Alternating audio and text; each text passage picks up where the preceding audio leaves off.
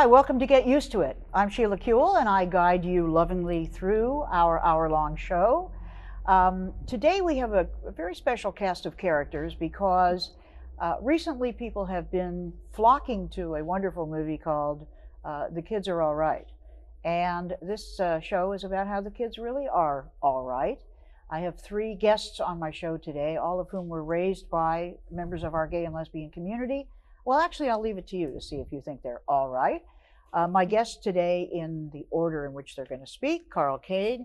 Uh, welcome, Carl. Thanks. Carl used to uh, be uh, staff to a member of the LA School Board, uh, worked building schools, and is now working building malls, yep. which can be very educational. Exactly. so we all spend a lot of time with them. Very happy that you're here. Great. Tia Kearns is in school, but she's in the uh, LA School for the Arts. Los Angeles County High School for the Arts. High School for the Arts, an actress, and not even an aspiring actress, but a real actress. And I think that's wonderful. Welcome, Tia. Thanks. Emily Gold, who um, was on my staff actually when I was in the uh, the Assembly and the California Senate, incredibly good staffer, and for the past couple of years has been super mom a parent of an almost two year old young man named Lucas. Welcome, Emily. Thank you.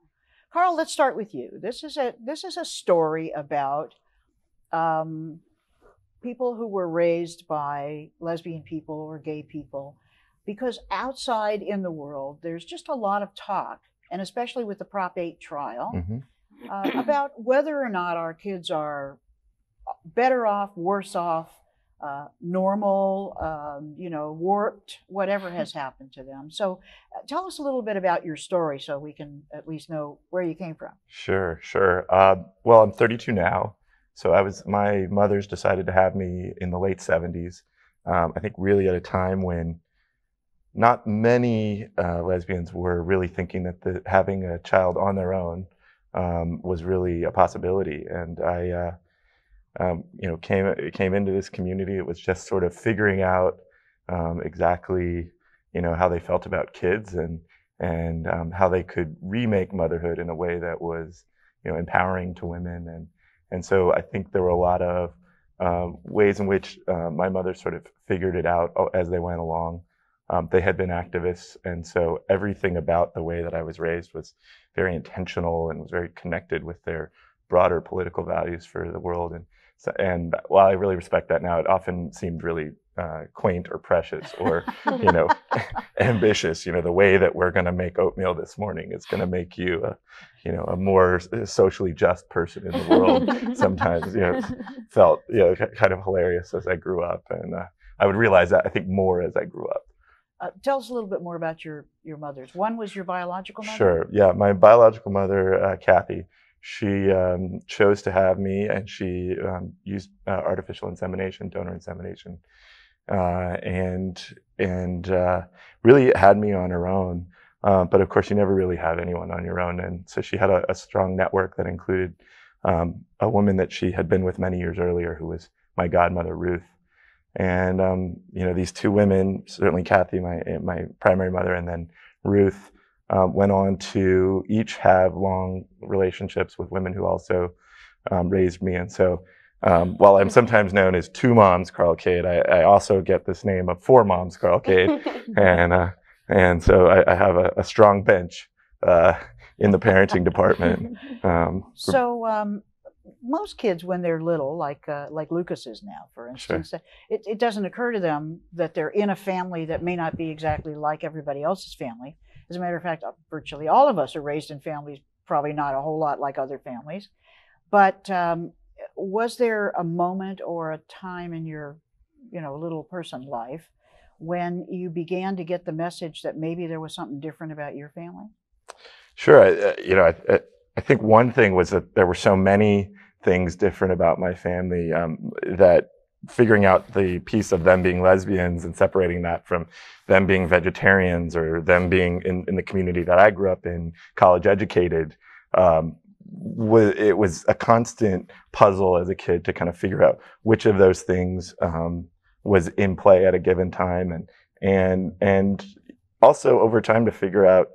It, it wasn't clear one time when I would be more advantaged you know, because my parents were educated, for example, or you know, had a PhD or something, or on the other hand, um, may have been a subject of of some sort of discrimination because my mother's um, were lesbians. And so I think there's that way as a kid, as, as a young kid who's just coming into consciousness, where you're sort of still figuring it all out. And, you know, all of a sudden, and by the time you're seven or so, you start to maybe really start kind of putting it together. Um, I think definitely as I did that, there were times when I chose to not um, make clear the way in which I was different as I got older. And, and, and that can be hard. And, and, and I think that in many ways that's easier for kids today than it was when I was going Easier to say that they're coming from a lesbian different kind of family. Exactly, exactly. I think um, at the time I was going through it, um, and you know, I think it was not something that was on television. It was not something that there were popular movies about. It was not something that um, that was even talked about. even talked about. Yeah. Correct. Um, except for my mothers wanted to talk about it because they saw every part of their life as being political and they saw being out as being very important. And so I think as a kid, there's this piece where the importance of your parents of being who they are and being upfront with who they are kind of comes into conflict sometimes with you wanting to fit in. And that's real. It's not it's not good or bad. It's just a real thing that you kind of have to deal with. So, did you experience it as a, a kind of a worse burden at school than than your friends had, even for other reasons? Because school is the place where people, you know, suddenly you go to a place and there's lots of kids, Right. And everybody and, wants to and fit they've in. got families, you know, that you've never heard of before, and but there's always somebody whose family is worse, or there's something more terrible about their family, or whatever. Um, and you know, gay and lesbian families came in for their share of critique from kids right. and that meant their kids did, which I think is why so many people were so worried about having kids to some extent. right. It was like, well, I don't want to subject my kids to that. I, I didn't really feel that I had in any. I didn't ever feel that I had the you know most uh, unfortunate family to to you know to to come in and and and so it wasn't so much that I mean it was so much more nuanced. Mhm. Um, I did feel like most other people's families were more like each other's than mine was, and that was not always a big problem, but it definitely was something where um, it took time and maturity, I think, to really figure out a way to bring it up um, that was um, that was genuine and was comfortable at the same time. And I think by the time I got into high school, when I did finally get around to telling people, you know, they were sort of they were sort of uh, thought it was no big deal. You know, they, you know, their response was, you know, "Oh, okay, moving on." Still, though, I mean, if you go to a school that's kind of a neighborhood school, Right. often your friends will come over to Right. play if you're a little kid or study if you're a little bigger. Um, it's hard to keep your parents a secret. I think that was, pro- and this I, I really changed for my brother who was seven years younger than me. But for me, I really lost some of that in between, probably up until about age seven. Um, you know, all my parents who were not about to hide who they were for anybody were having all of my neighborhood friends kind of over and and in our childhood. And then I think there was a point where it became my choice. And I kind of got more private about that with some of my friends from school.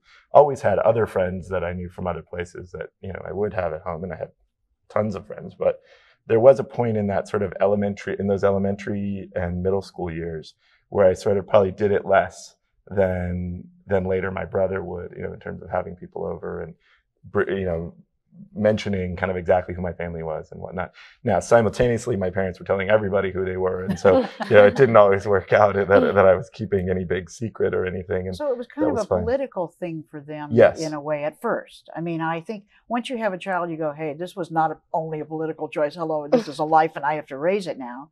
But um, when you said that not very many Right. lesbians were having children, as a matter of fact, there was some uh, unfortunate critique in the lesbian community about parenting, partly because the same critique about marriage. It's Mhm. like, we're we don't want to do what they've done we don't want to accept the rules that have been given to us there was a lot of rejection before Right. it was kind of sorted out so it was quite a statement because Right. that was way before the gay boom right, exactly.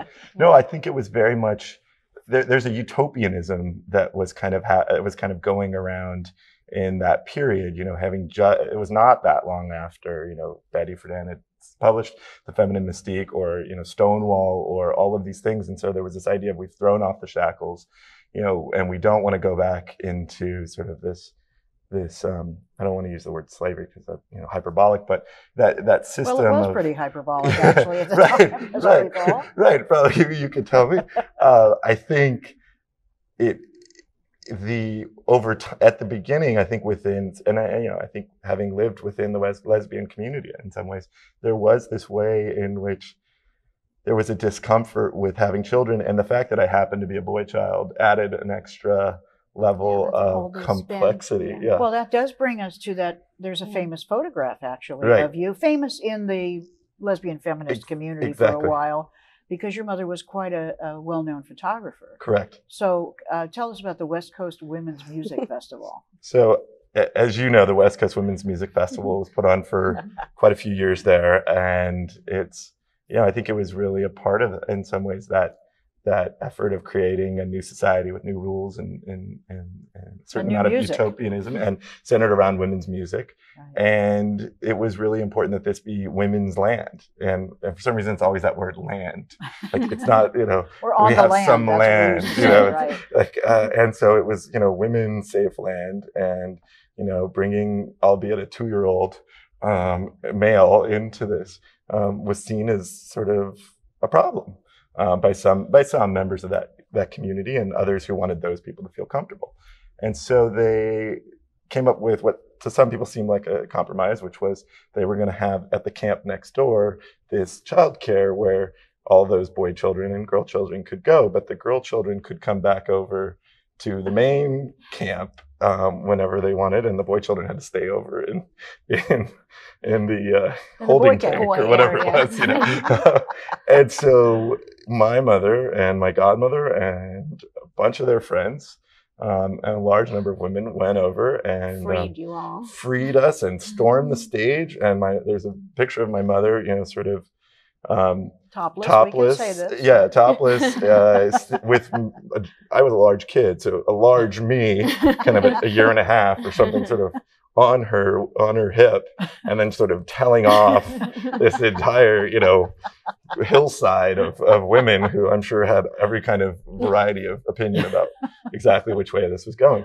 I think that that debate has changed a lot. I mean, I think that Oh, no you know this idea of you know the gay boom, but also just um, you know that the idea that you can raise male children that can be um, you know if not feminist, then certainly pro women and empowering of women, and and and so I see that as so much of a outgrowth of that particular time period Right, of time, and not Right.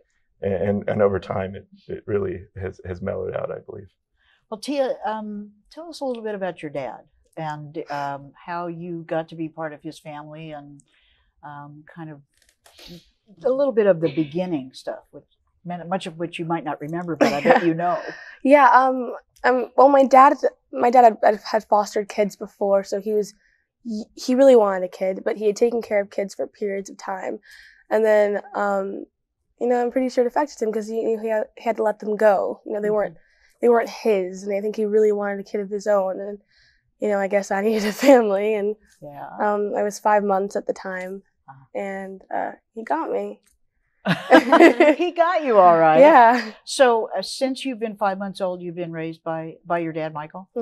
Yeah. So what's a tell me in terms of what you remember early on, what what uh, what it was like growing up with him, because he would also have been a single father, right? Yeah. Um uh it it really wasn't that that different for me. I mean, it wasn't weird for me. I mean, we had tons of family, like uh friends, family friends and uh, Uh-huh. a lot of gay men were around the house all the time and you know, I I, I kind of just was used to it. I grew up with them and you know, my when my dad would go off and work and you know do shows, you know, I'd be with family members, but there's big family kind of. So did you do you remember uh, early on getting any feeling from friends, especially when you started school? Sort of what was your experience like as a kid? Suddenly, maybe hearing from other kids about whether your family was normal or not. Well, I mean, from the minute I could talk, I knew my dad was gay. I mean, we we talked about it, we read books about it, you know, adoption and you know, gay adoption, and you know, me being you know black and him being white, you know, and um, in preschool, I mean, I went to a very liberal kind of school, hippie school, so I mean, that wasn't a problem there, and my kindergarten, I went from kindergarten to eighth grade, and there were lesbian teachers and kids who were adopted, and it wasn't it wasn't a big deal. But I think um, high school, when I first got into high school, was kind of a kind of a shock to some people. Mm-hmm. And I was, I kind of, you know, experienced you. You felt. I mean, it wasn't as, I wasn't as willing to say, oh, my dad's gay. Um, you know, I'd kind of wait till I, I knew those people would really, you know, be around and be my friends if they liked me, you know. And I told them, but One of the things that um, there was some discussion about when Michael first adopted was that because he was HIV positive, people said, well, is this an appropriate thing to do? Um, and now, of course, that you're older, you know this too. Um, it's sort of a difficult question, but I uh, for I like people to really understand what kind of what people are going through and what kind of what they face. Has this been something that ha- has affected the way you think about your own life, or I don't know him, or I don't know something? Uh, not not really. I mean, it, when I was younger, uh, uh, about ten or something, it kind of kind of worried me that my dad had you know a disease because he could could die, Mhm, mhm, and uh, he I only had my dad. I didn't have another parent. Um, that kind of bothered me. But you know, I've he's pretty healthy. I mean, despite all that medication he takes, you know, yeah. right. Um, compared to a lot of my friends' parents, and you know, he walks everywhere. You know, I don't know. He's just um, and he's and he's very you know positive, and I don't think he's gonna like. I hope he doesn't die soon. But No, no, no. But I mean, it's Yeah. the same. You're right. It's Yeah. what you said about. Well, I mean, other people's parents. yeah, We have these same issues. I mean, we all have friends who uh, lost their parents, even in when we were in junior high school or Yeah. high school. You know, one thing or another will happen. So, um, so eh, when people say, "Well, I don't think gay people should adopt," Mm. what would you say back to them?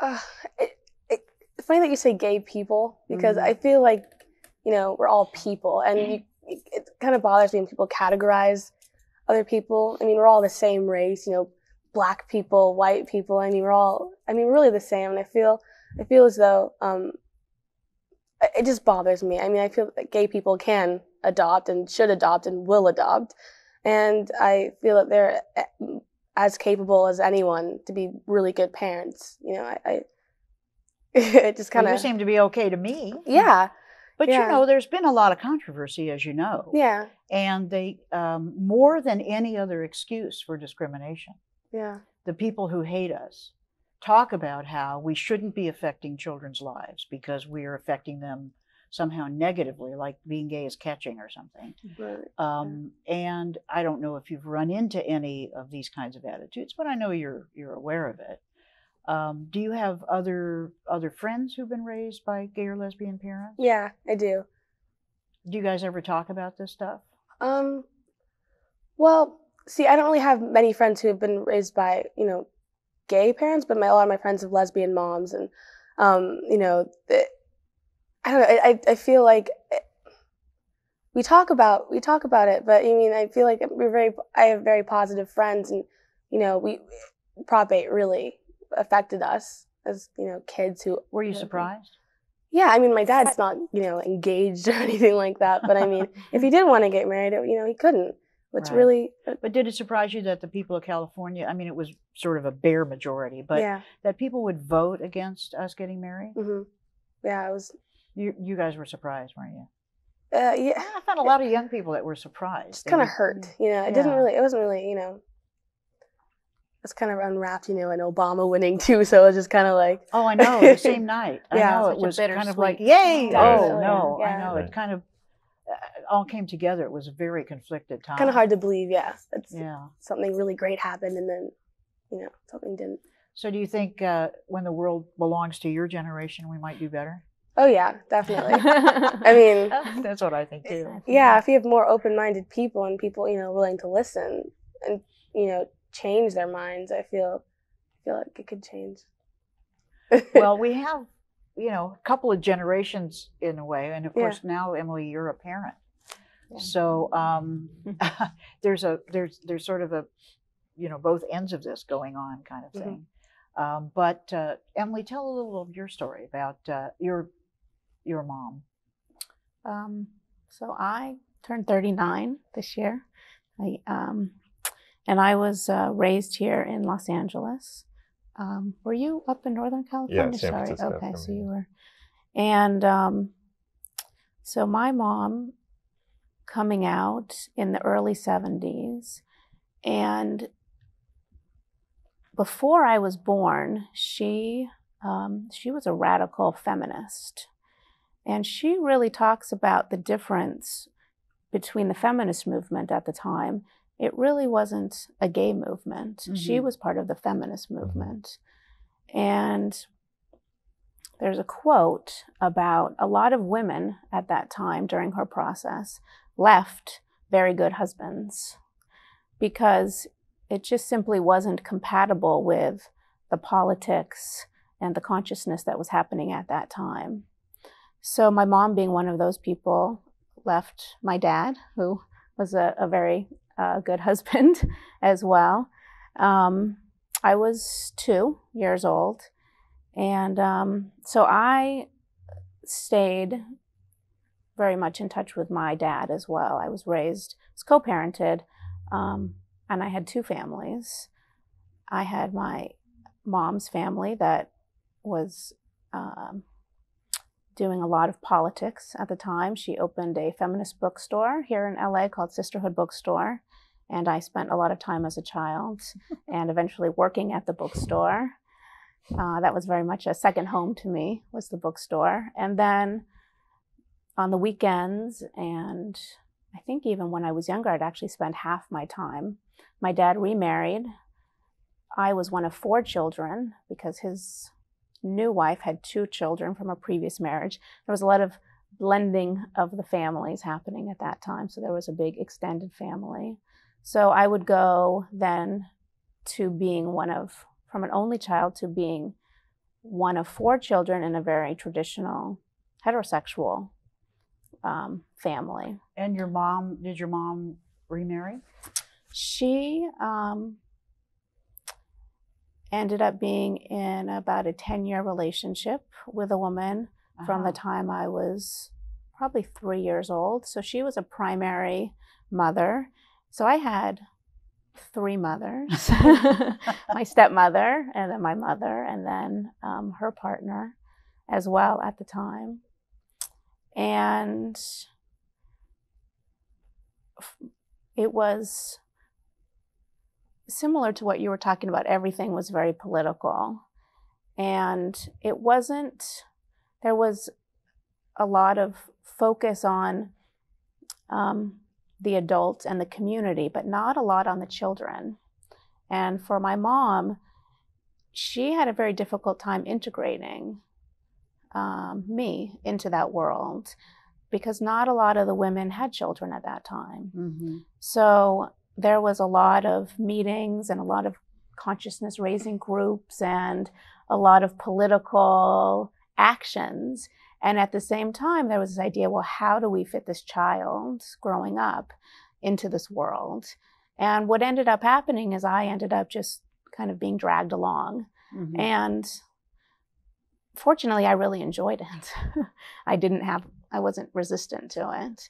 But I could see that being very challenging if a child was was resistant to it. So that fortunately worked out very well, which was really different than my dad's family because you know, we they were just a very traditional family and we would watch TV in the evenings and have dinner and, and just do very kind of traditional things. So constantly I was faced uh, with a contrast of of these two families. And I think that was very hard for me to develop a very strong sense of self because I, I felt kind of pulled in, in different directions. And um, definitely at school, it was hard to talk about the family that that I came from. And what then further complicated things is I came out myself at a very young age. Mm-hmm. And the joke I have with my mom now is when I disclosed to her that I felt like I was a lesbian as well. She told me I was just going through a phase. well, of course, it could so, been and it's for, been a long you know. phase, but it's been a long phase, is Um, right. And you have a partner now. So, yes. And we got married during the window period when the Supreme Court approved our marriages just before the Prop 8 came down. So, we're one of the 18,000 couples, I think, in California that has a, a marriage license from the state. Um, and then we had our son uh, two years ago in October. And it's it's very interesting now looking at things um, as as a mother as opposed to a child raising him in a in this community as well and also having him be male is you know adds a whole other element to gender and sexuality and how er, how these things come together. Um, we have a known donor and so his father is is very involved. And so you know he's we think a very fortunate child. He has two moms and a dad eight grandparents. Uh, he just has huge fan club. And he's thriving i think that hey, the more presents, Yeah. the better. I, you know, I, that's what they know for at least at that age. and the the love and the attention that is showered on him constantly um, you know he's a really amazingly independent and strong-willed little guy so different than how i remember myself at his age When you were younger, it- it was difficult for you because you had trouble talking, or not trouble, but you didn't want to talk about your family, just your mom's family. So you would talk about your dad's family because that was the normal one. Yeah, I think though I didn't really want to even bring up the subject of family mm-hmm. because if I talked about my dad, there would be the question of, well, where's your mom? And so then that would sort of lead into, and it also it seemed it was it was complicated. I would say, well, I have, you know, a mom and her partner and a dad and a stepmom and a stepbrother, and it was still there were divorces happening and remarriages and but it, it felt like in the 70s it was somewhat unusual to sort of have these blended families and i think more so then that it was unusual than it is So you Now. were, I mean, it sounds like but you know what was also T is the only one here that didn't have to keep secrets. That's cool. Is that, I and mean, that's yeah it was I, it was also difficult because i came out when i was really young and i was worried that people were going to say that your mother made you gay i was very aware of that stigma and i was i knew that that was something a, crit, a critique of lesbians having children and i didn't want to perpetuate that by Mhm. coming out myself So what do you think of that theory? Um, well, I think that unfortunately, the premise that sort of assumes that there's something wrong with being gay in the first place. And so that in of itself is bothersome. And I think that, you know, we had just such a wonderful opportunity to see that there's so many different families. And we, I mean, for myself, so many people who are older and come from heterosexual families, it took them a really long time to figure things out. But then when they look back on their childhood, they say, of course, but they didn't, that they were gay, but they didn't have a language, they didn't have an understanding. And we had all of that. So I Mhm. think we just, sorry, I'm speaking Mhm. for you as well, Right. um, that, that we had an, an opportunity to understand ourselves um, But it was lonely for in, you. in a different way. I, I was mean, I knew you when you extremely were a lonely kid because I rented the house in back of your mom's house. right, which is where I'm living right now. I know. yes, It's a wonderful circle, I think. It is. Um, but you were very quiet. I mean, I didn't. I was painfully shy and Mhm. painfully self conscious. And it took a really long time to um, really come into my own. Not until my 20s, I would say. So, how do you think it's going to be for Lucas? I see him as having such a different experience. I mean, already I can see it. Just, I think a lot of it is just who he is. Mhm. And I think just the environment that he's growing up in. I mean, he's just, he's an amazingly confident little guy. So I don't see him. I and I also, it's uh, reassuring to hear pe- people's experiences that are younger now that are growing up that have very different experiences. I think that being a child now in a gay family because you know our parents were sort of the the trendsetters and now we have had the baby boom and I just think it's a really different time. Well, I'll tell now. you, from my generation, which is yet again, you know, one removed, um, it was a real loss to us that we never thought, if we weren't married and we thought we might be gay or were gay from a young age, we never thought kids could be part of it. Right. Didn't have even the technology was, if it existed, was so expensive you couldn't even think about it. Mhm. Right. um, and to keep the secret and to wonder should we do that to a kid so there are a lot of my cohort who if they were not married and had kids while they were married Right. never had kids and you know you get to a place where you live with your life and you think okay that's the way it is you know lots of other people's kids in my life but it was a sacrifice um, in a way I, I- you're talking about your mom sort of making this choice and a lot of other people being critical. Mhm. But um, I think a lot of just regular people who were not incredibly political were just scared and, you know, couldn't figure out how could you have a family. So you get to the point, you know, in your 50s and 60s and think, you know, hell, I could have been a grandmother by now, but now I, you know, that was not in the cards. Sort of the in the cards piece of it, I think, is Mm. the interesting thing here. Right. Well, I think also for both of us, certainly back then, to to be a woman, to be a lesbian who decided to have kids or had kids and decided to really um, bring those kids into the lesbian community, Mm. that was a political act then. And of course, there have always been lesbians. There's always been and, and gay men, and and they've always raised kids. Um, the issue is that to do it openly in the 70s and early 80s, I think, was a political act. Um, and I think now, to some extent, that's still true, but a lot more people don't have to be activists. You don't have to be a, a radical left wing activist and be a lesbian with kids. You can be a Republican woman and have, you know, and you and your Republican wife can go have kids and raise them in places not like San Francisco or the west side of Los Angeles. Um, and I think that's changing a lot. And I, you know, to the extent that people do hear my story and don't necessarily see their reality in it, I, I you know, I'm very cognizant of that. That that you know, there's plenty of people who just live in a, a typical suburban house and you know go to the neighborhood big public high school and you know and that's their reality i think more of the people who did it early had to do it in a very intentional and political way Well, there's also the coming out process. I Right. mean, a lot of times when, you know, as gay or lesbian people talk about coming out, it's like about them. And you choose the person and then the next person that you're going to tell, etc. But it, it never occurs to us that our parents have to come out when we come out, our kids have to come out. right You know, if we're open or if we're suddenly being open. I mean, you, Tia, you were saying, well, then I went to high school. Not that you're saying, oh, it's horrible, but it was a it was a process for you.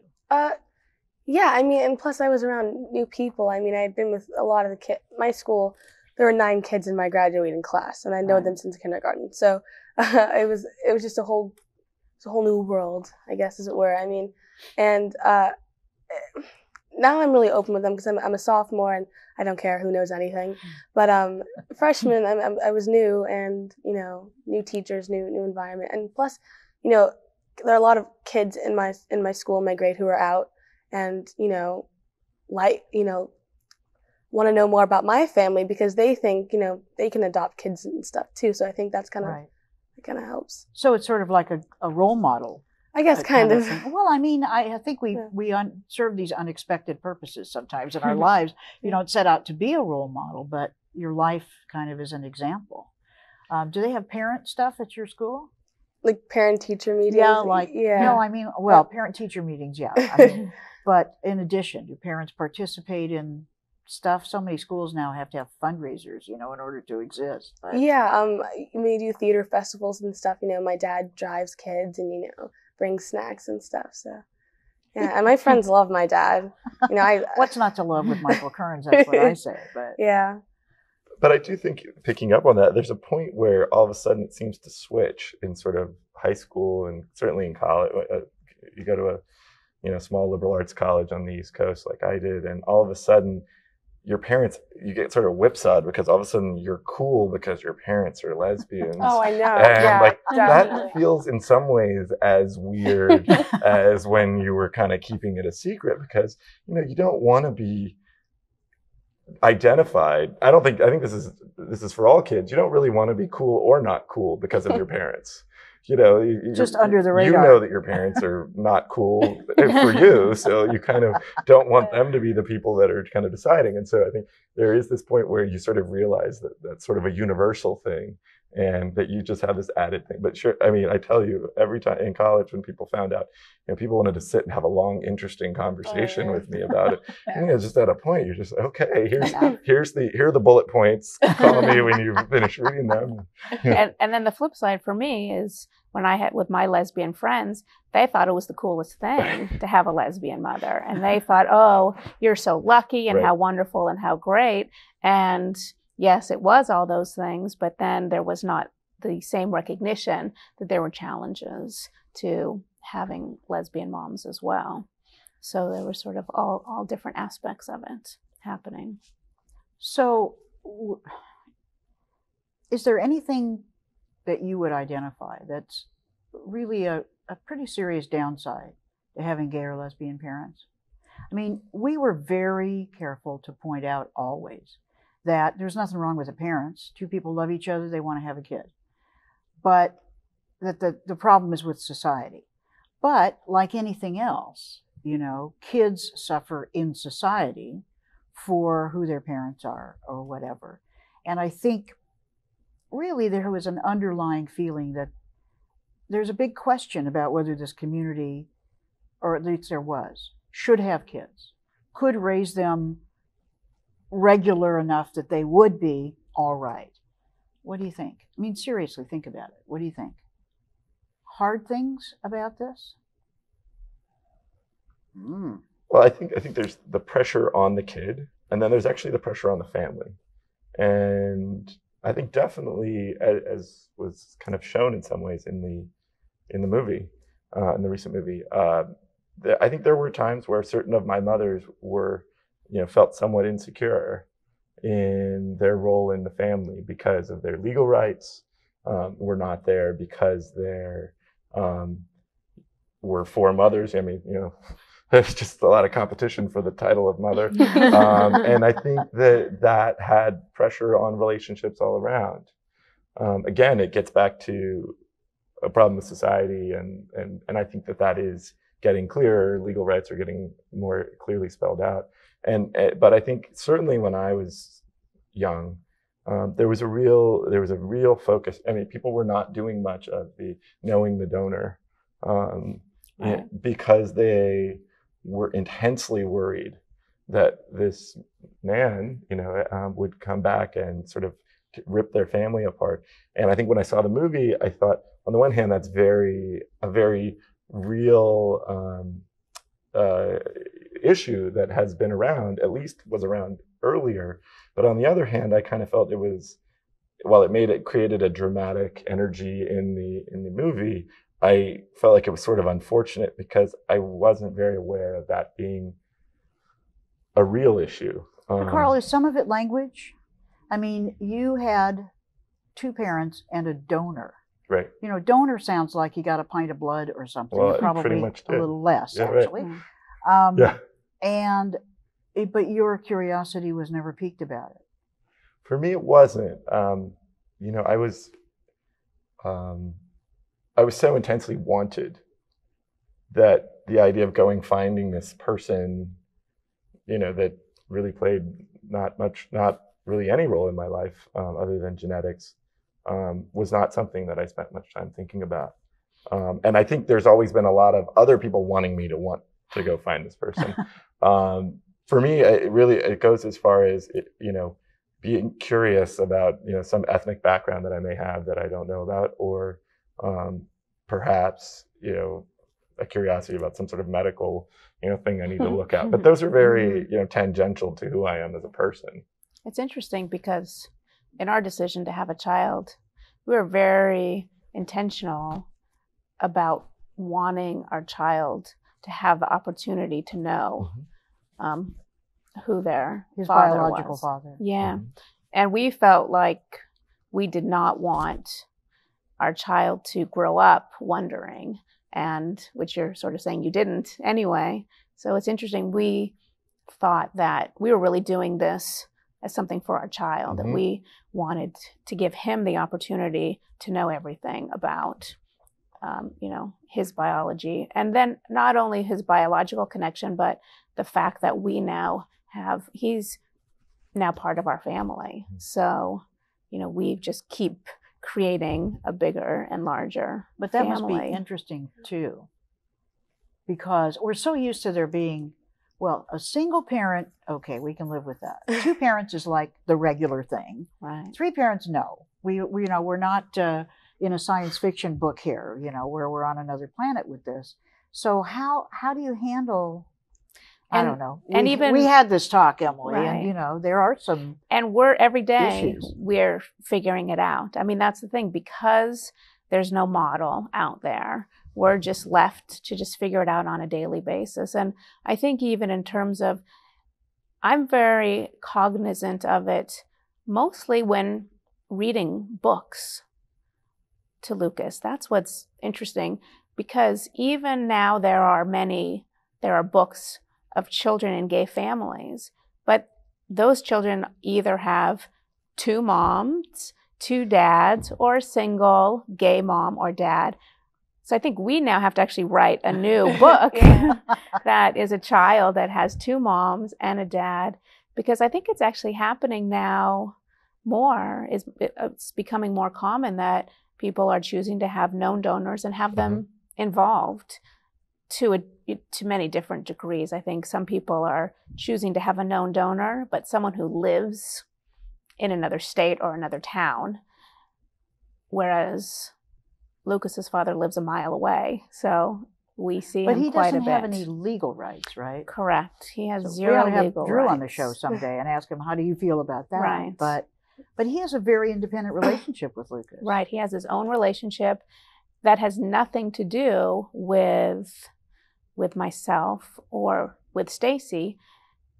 And it's a real lesson in letting go of control for us because he is going to have a completely separate and already does. I mean, even from a very right from the start, he had his own very unique um, relationship with him that has nothing to do with us.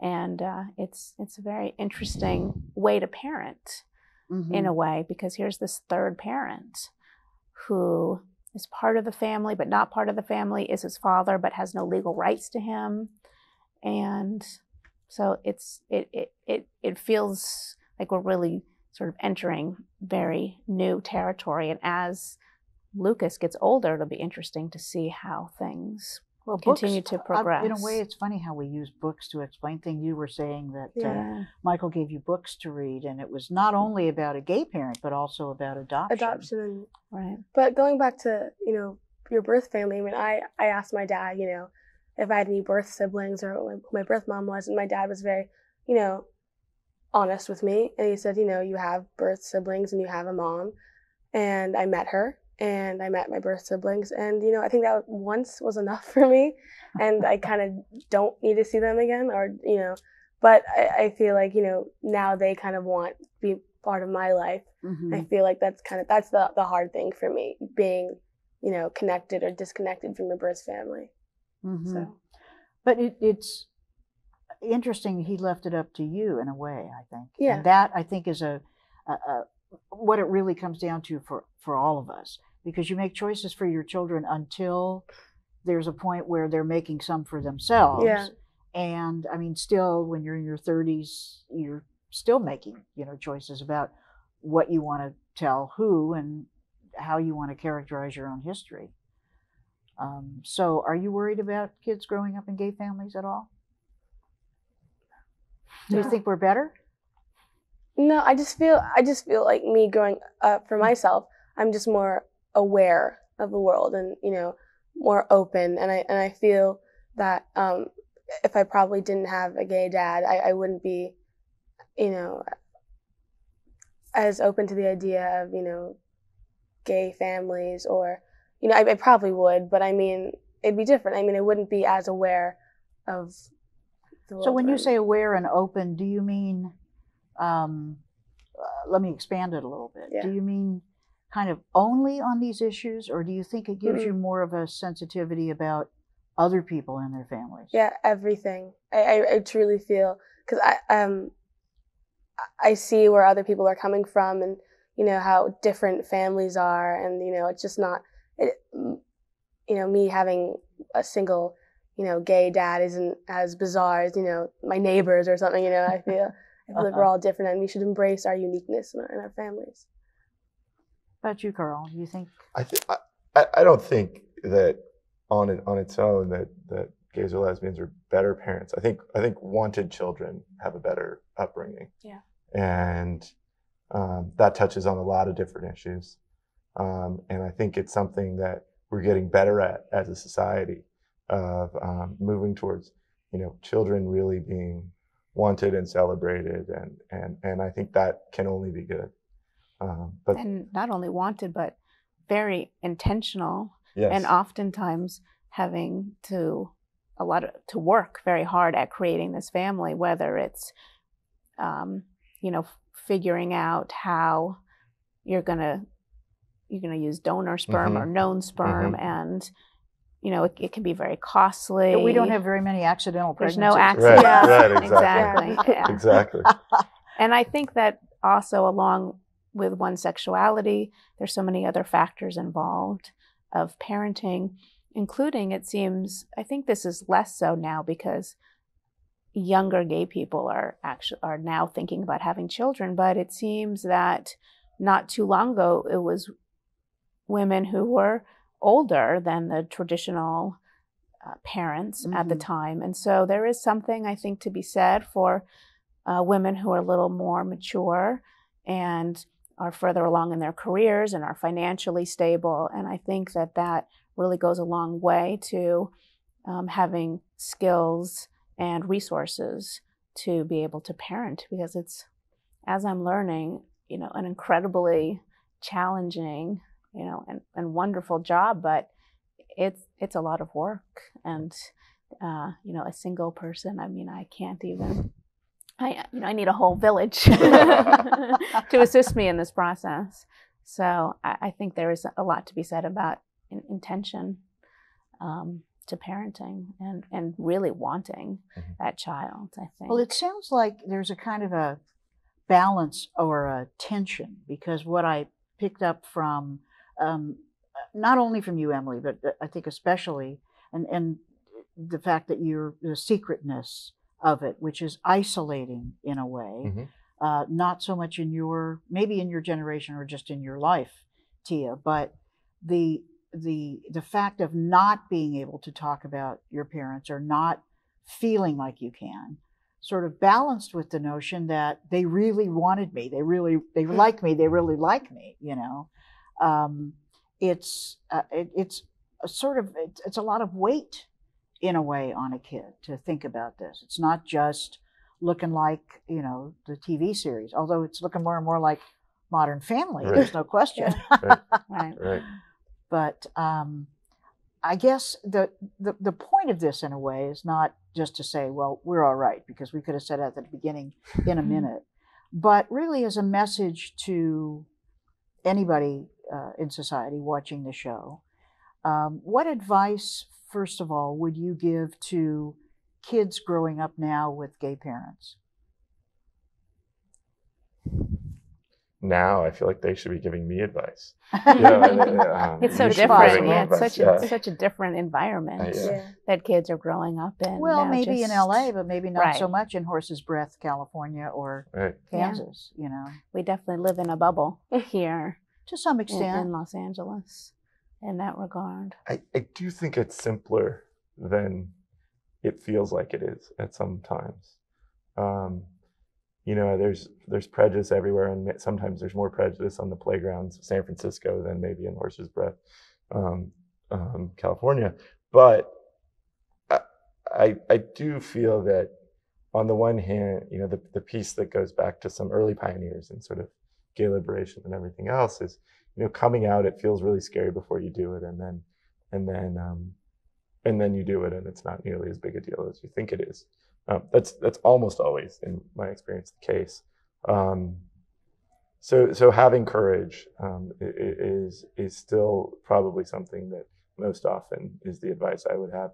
Um, but I also think that there's a piece where, um, depending on your parents, I, I think you have a right to also have a certain say in the way that you want to present yourself in the world and that that right changes at stages over your life and you should feel comfortable um, having a certain amount of say in that as a kid. And, um, you know, that doesn't mean your parents have to pretend to be a straight couple, but it does mean you get to have some say. And I think having that conversation with your parents from a very early age is probably a pretty healthy thing.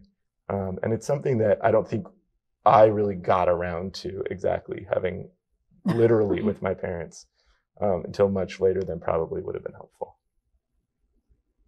And sometimes it's just hard to talk to your parents, Right. regardless of what the issue Right. is. Right. So, It's and- always hard to talk to your parents, regardless of what the issue is. Yeah. yeah, as much as we now, as a parent, really, you know, my hope is to have a different relationship with our son and that he will want to talk to us. But, you know, probably all parents wish that as well. And Yeah, wait till he's 14. Yeah, Right. exactly. then I'll probably not even want to speak to him either. But you know, for us, we we are very intentional about wanting to expose him to so much in life in terms of different families and different cultures and you know we want to travel and see different things in the world and our hope is that for him to really see all and appreciate kind of like what Tia was talking about just to really have a appreciation for diversity and for difference. And you know lucas he has gay people in his family and he has straight people in his family and just and young people. And we live uh, where we live we have four generations. Hmm. my so we have 94 years old all the way down to two. Um, so i think we just are, are very intentional about wanting to broaden his exposure and his horizons to to the greatest extent and then just cross our fingers and hope for the best this is all that, that- all that one can it. do right Well, you know, it's interesting when you said you're an actor and that is your uh, your focus in school and I assume beyond school. Um, from what I remember of being an actor, it's a very very important thing to understand other people's lives because you're going to be being them. So, you, it, has that played any um, sort of any role in uh, kind of helping you to be able to be someone else when you work? Um, yeah, and plus I'm just a really understanding person, kind of uh, too much for my own good, I guess. Um, but um, yeah, it it has because being exposed to what I've been exposed to, um, all these different cultures and people and, and ways of living, um, has really helped me, you know, with what I what I love to do, and you know, I, I act and I can apply different things from what I've seen and you know felt and be these characters. and you could probably play a white gay man very, very perfectly I'm working on that. Well, if Michael could play an African American woman, I would have seen him do. You know, Yeah. I mean, why not? Yeah. Well, it is interesting when kids when, when kids are exposed to, uh, I won't say just lack of uh, intolerance or, or being tolerant, but really such a variety of lives. My my own experience in high school uh, in Los Angeles, our class was it was one of those neighborhoods that I guess the, people would say was changing, uh, the way they refer to it, but it was one third black, one third white, and one third Asian in my high school. And we actually had our 50th high school reunion not too long ago. Um, and we had all bunch of us there, and we were talking about how impactful that was on our lives in ways that we had no idea because we weren't having tension in the school. It wasn't necessarily always all mixed up at lunchtime, you know, but simply the fact of knowing other people's families, other people's lives, other people's food. You know, I mean, it was it was quite extraordinary to to know.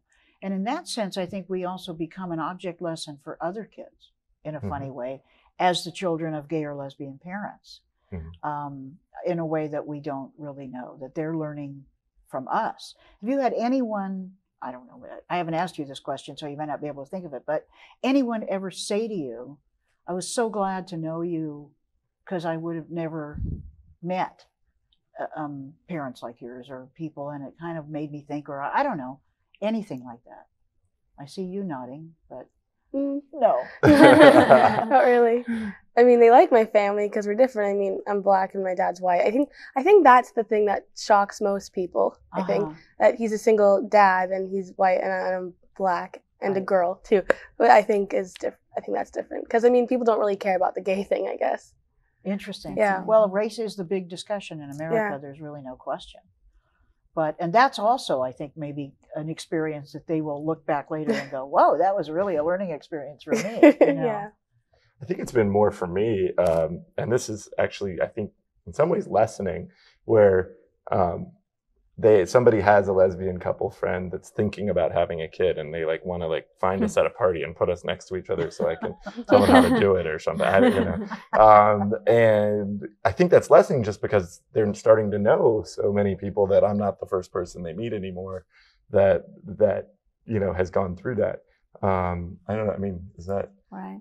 I, I think the flip side, I think the other part is that, um, you know, figuring out being gay or not, you know, figuring out a family that works for you, that that where people are supported, where you know economically it works, where you can raise the kids the way you want to, is something that all families are, have to figure out. And um, I think more and more I see, you know, straight couples who are or straight single people who are, you know, trying to figure out that they can sort of do it in a way that works for them. And that you know if if a woman you know wants to have a kid and you know she's getting on into her 30s she doesn't have to just give up on that dream. And you know I think I'm starting to see that. And and I think that's probably the best lesson of all that that again getting back to this theme of you know it's most important the children are wanted. And and you know sort of that's that's what's going to happen and, and make make great children. I think that's sort of moving out into the broader society Well, thank you all very much. Thank you all three for telling your stories and uh, being here and you know sharing. And thank you for being with us too. Um, so just remember, the kids are all right. So get used to it.